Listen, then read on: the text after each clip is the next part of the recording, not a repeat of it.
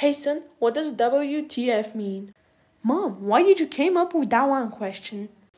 Yesterday you posted WTF, mom. Well, it means Wednesday, Thursday, Friday. But that doesn't make any sense. Tell me right now or I'm gonna Google it.